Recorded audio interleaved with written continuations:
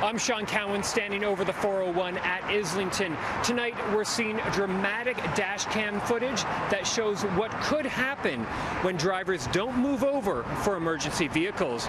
It's the law that police say far too many drivers are ignoring and it's putting lives at risk. A warning, the video we are about to show you may be graphic to some viewers. This shocking footage captured by a tow truck driver's dash cam Saturday night on the 401 near Port Union shows the terrifying moment a minor car crash turned major.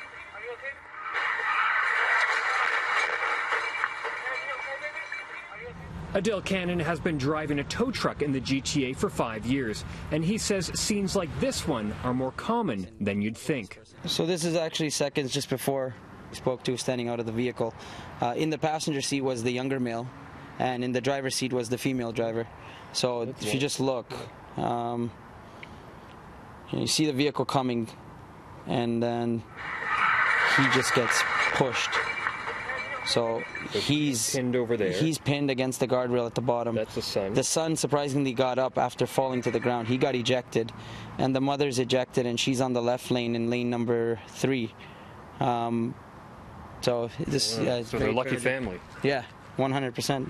The OPP says these collisions are preventable. Slowing down and moving over for emergency vehicles will allow those who provide help at the roadside to do their jobs safely. Cannon knows that firsthand.